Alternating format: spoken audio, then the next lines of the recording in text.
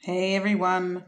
So I pulled a card for you all out there today asking what do you need to do to come in alignment with bringing more money into your life today? And the 3 of wands came through. And this is about being your authentic self, showing who you really are, expressing yourself fully. Because what can happen is if you're not doing this, you can create blockages in your energy Okay. And so when you are more able to express yourself freely and be more authentic, there is less blockages in your energy. And at the end of the day, money is energy and it can flow freely and more to you when your energy is open and not blocked and shut down. Okay.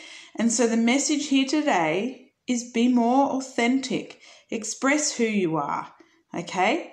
And I know that's not always easy for some people. For myself, it's been a journey, a really, really hard journey to um, expressing myself, and I'm still learning.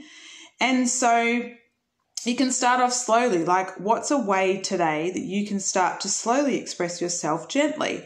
You could journal how you're feeling in a journal.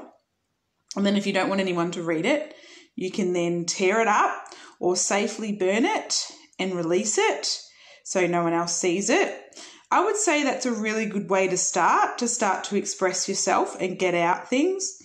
Uh, you could start with just saying how you feel to someone, starting there, saying it gently. Okay, and so yeah, this is really important. This is going to help to open up the money flow because it will help to open up your energy field.